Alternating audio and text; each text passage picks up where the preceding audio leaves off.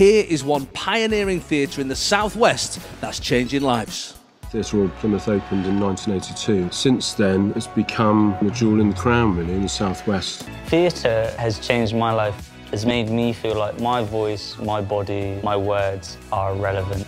I'm very much looking forward to the, the future that I feel I can build here.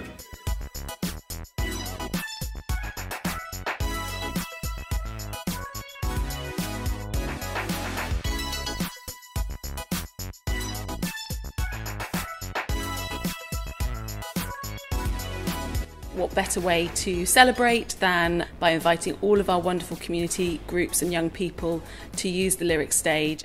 You're the reason we are here tonight. This is our time to celebrate. Look at the magic that we made. The spotlight, together shining so bright.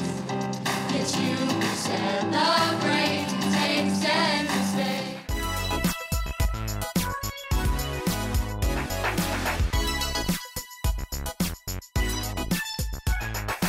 People don't really understand what it is when people say we're homeless. Maybe we could do something about that.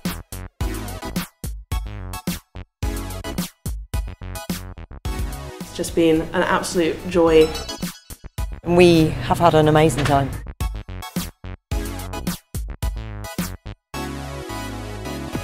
It's been brilliant to be back with so many different artists again. We've all got to be really friendly, and during these difficult times, a lot of us have been quite lonely.